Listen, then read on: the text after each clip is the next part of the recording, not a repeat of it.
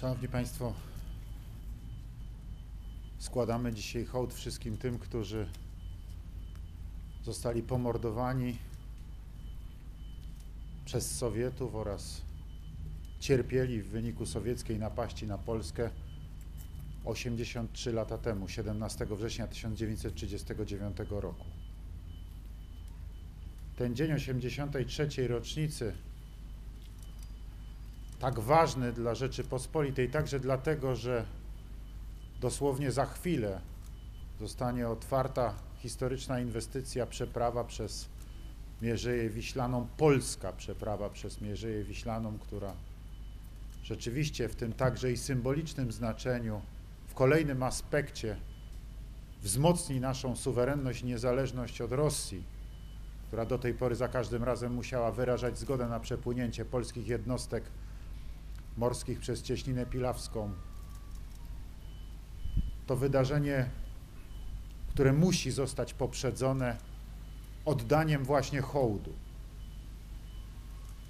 Hołdu tym milionom Polaków, którzy zostali pomordowani, którzy zginęli, którzy cierpieli na skutek rosyjskiej napaści tamtym straszliwym wrześniu 1939 roku, kiedy Polska została zaatakowana i zniszczona przez dwa współdziałające ze sobą, będące w sojuszu totalitaryzmy przepełnione nienawiścią.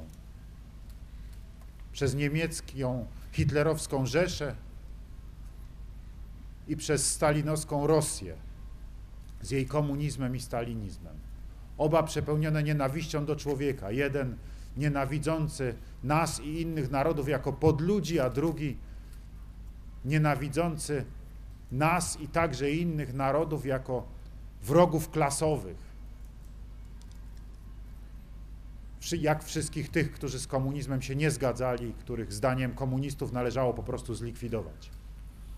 Tak się działo z Polakami, którzy zostali przez Sowietów ogarnięci tamtym wrześniu 1939 roku i później. Ten atak sowiecki na Polskę 17 września, będący efektem paktu podpisanego pomiędzy hitlerowską, nazistowską Rzeszą niemiecką, a sowiecką Rosją 23 sierpnia 1939 roku, paktu Ribbentrop-Mołotow, a ściślej mówiąc tajnego aneksu do tego paktu, który właśnie przewidywał podział polskiego państwa pomiędzy niemiecką Rzeszę i sowiecką Rosję, dopełnił dzieła zniszczenia Polski, utraty naszej niepodległości, suwerenności i tragedii polskiego narodu, którego część znalazła się pod okupacją i terrorem nazistowskim, niemieckim, a druga część znalazła się pod okupacją i terrorem sowieckim, stalinowskim.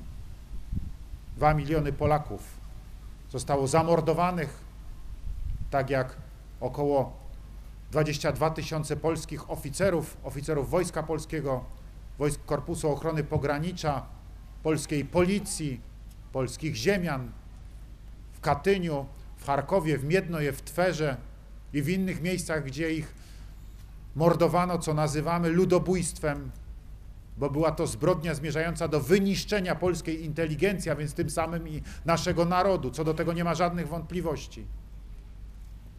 Ale także i wszystkich tych, którzy byli więzieni, którzy zostali wywiezieni na Sybir, którzy umierali w łagrach na skutek chorób katorżniczej pracy i z której zaledwie około 500 tysięcy wróciło potem do Polski.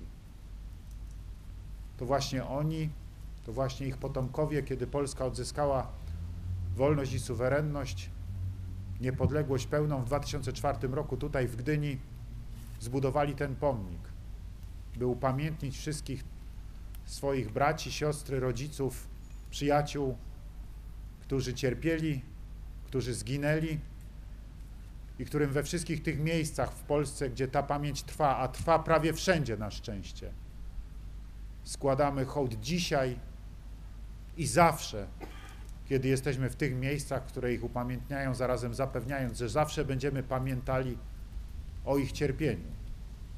Bo było to cierpienie za Polskę i dla Polski. Dziękuję. Cześć i chwała bohaterom, wieczna pamięć poległym i pomordowanym.